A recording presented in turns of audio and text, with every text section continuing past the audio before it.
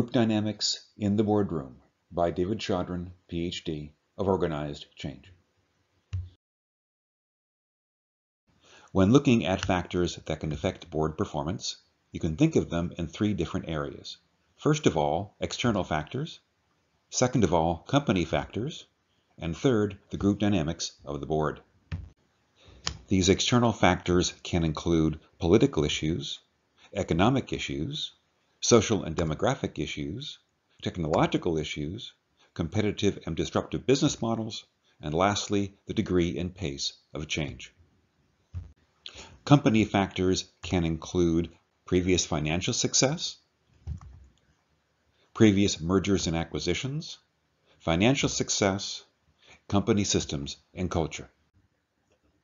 External factors and company-specific factors certainly can be affecting both company performance and the board.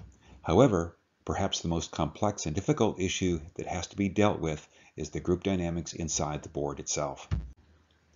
One way to be looking at group development and performance is to think about the external factors we discussed, that is the political, economic, social, and technological issues at the global, regional, and company-specific level, as well as the degree and pace of change, affect the four steps of group development.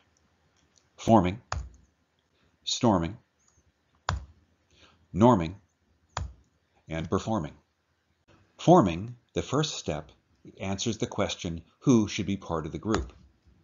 This specifically involves membership, what qualifications are necessary to be in the group, and what previous relationships have existed among group members.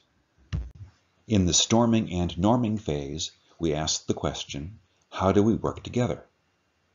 Aspects include how much cohesion there needs to be in the group, what process there should be for decision making, how much power people on the board should have, what kind of roles and relationships people on the board should have, how should conflict and openness be handled, how much communication and the clarity of the communication, and lastly and not leastly, explicitly or otherwise, what measures of success should we have? In the performing stage, you're asking one question. What are you accomplishing? There are various positive factors that will be helping you improve your performance. Such things as being open to new ideas, making sure there's active discussion, to make sure also that you encourage disagreement when appropriate, that you are focused on the long-term company success, that you work by consensus, and have good follow-through on the decisions that you have made. Negative factors that can affect board performance include authoritarian leaders with passive followers, politicking and dysfunctional work groups, routines that are blindly followed, a win-lose orientation, and social loafing, where some members of the board do most of the work and others do little or nothing. Other negative factors include the Abilene paradox, where members think they agree but don't. Groupthink, where conflict avoidance and smooth appearance are more important than performance. And lastly, there can be a risky shift, where the group amplifies the willingness of an individual to take risks. You can also have the issue where pinches become crunches. Pinches are the natural and small disagreements what happen between people simply because we're people. In a group that has good group functioning, people talk about it, they reconcile and keep on working, but they resolve the pinches as soon as they occur.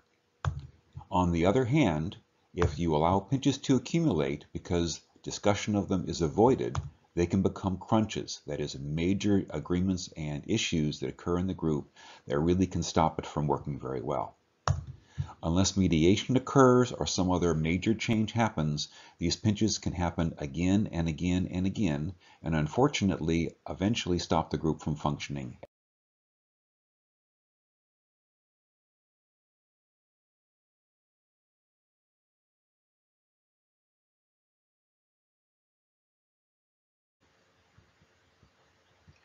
When conducting an outside assessment, there are two major factors. Objective factors such as governance, process, and plans, and subjective factors which look at goals, concerns, and group dynamics using surveys and interviews. These two streams of data are combined into a report that are then fed back to the board where hopefully they will conduct action planning meetings and successfully deal with these issues. Group Dynamics in the Boardroom by David Chaudron, PhD, of Organized Change.